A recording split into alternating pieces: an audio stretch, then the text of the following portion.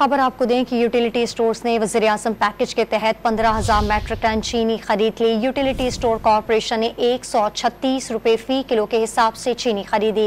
अखराज मिलाकर कॉरपोरेशन को फ़ी किलो चीनी तकरीबन एक सौ इक्यानवे रुपये में पड़ेगी। तफसील जानते हैं डॉनिस के नुमाइंदे ताहिर शरानी हमारे साथ मौजूद है। ताहिर, बताइएगा।